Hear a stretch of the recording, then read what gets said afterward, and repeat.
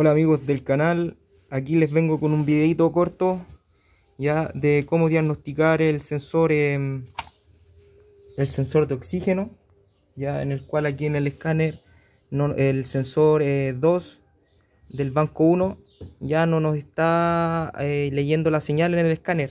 Ya se nos prende el check también.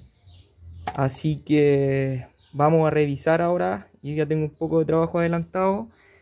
Em, el tema, el, bueno, este es un sensor eh, con sistema OBD2 ya de cuatro cables. Ya el cual uno es positivo, 12 volt, el otro es tierra, como aquí tengo anotado yo. Tierra, uno es de señal de eh, señal alta que se le llama, que es la que oscila entre 80 y 700 mini, milivolt, ¿ya? Y otra es la señal baja, que esa, eh, esa no oscila, ya esa no le vamos a dar importancia, porque eh, si ahora si ustedes tienen la posibilidad de, verlo en un osciloscopio, se pueden dar cuenta que esta señal eh, es recta, ya oscila la nada, ya, y, una, de, una de los cables ya es la que te va a dar la señal de, de 80 a, a 800 milivolt, ya que es la que oscila una señal así oscilante ya bueno en este caso eh, tenemos estamos verificando la la el positivo del que llega de la computadora al, al sensor de oxígeno.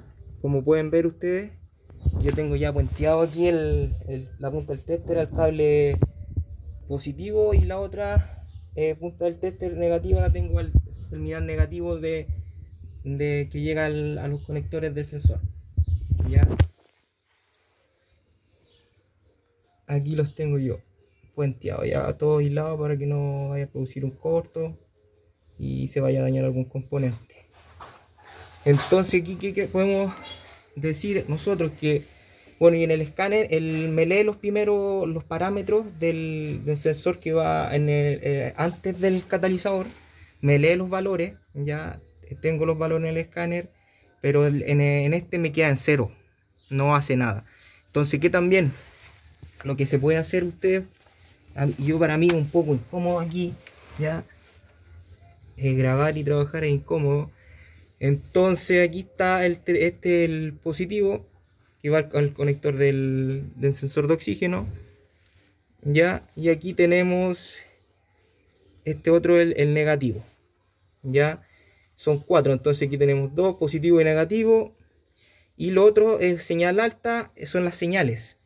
Ya como les decía delante, una señal alta y una señal baja. Uno de estos dos cables tiene que oscilar en, bueno, en el osciloscopio con multitester también. Ustedes pueden puentearlo aquí con el vehículo andando. Ya uno de estos dos cables tiene que marcar de, 800, de 80 a 800, 900 milivolt ya y en este caso este sensor no, está sensando no está arrojando nada ni un valor.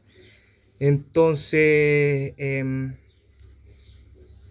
doy por, eh, por eh, bueno según mi diagnóstico y teóricamente ya la resistencia del, calefactor está buena eh, tiene 337 ohms si no me equivoco.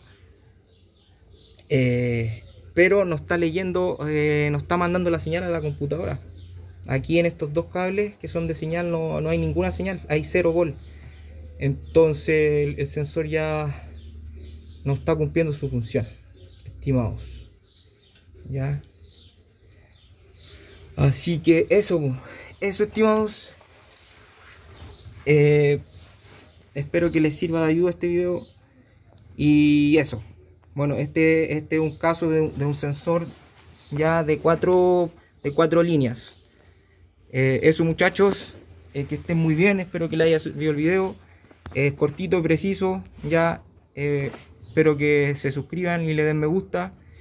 Y eso, espero más adelante poder traerles videos más detallados y como les digo siempre en mis videos se hace difícil grabar, grabar y trabajar, tomar las medidas, ya. Y por el tiempo ustedes saben que uno alcanza, se hace el tiempo para hacer unos, unos pequeños videos.